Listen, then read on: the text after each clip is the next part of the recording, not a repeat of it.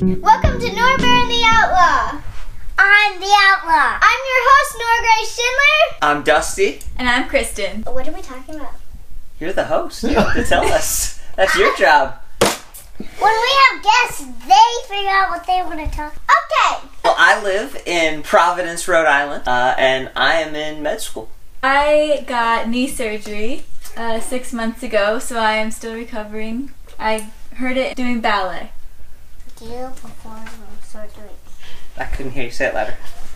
Did you perform her surgery? No, I did not perform her surgery. I wanted to, Yes. but she she wouldn't let me. Yeah. Yeah. And who did?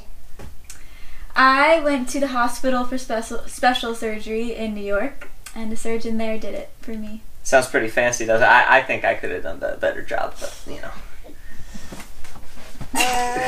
Are you Nora doesn't learning? believe me, apparently. Are, are you still learning? Oh, I'm yeah. I've barely even started learning. Okay, then you would be bad. Yeah. What is it like to open a dead person?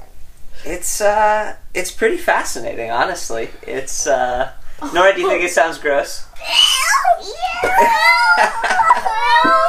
And and Kristen has been to see my cadaver. Mm-hmm. Yeah. But uh, but no, I mean we have to do it because it helps us learn. All of these people, you know, they they donated What do their you bodies. use to open people's Well, we use scalpels and scissors and other tools. Ew, fascinating. You want to know anything else about that, Nora? Should do you want me to get more details? Ew, no! Please don't. Okay. Thank you for joining us on Nora Bear and the Outlaw. This is Dusty and Kristen. Bye!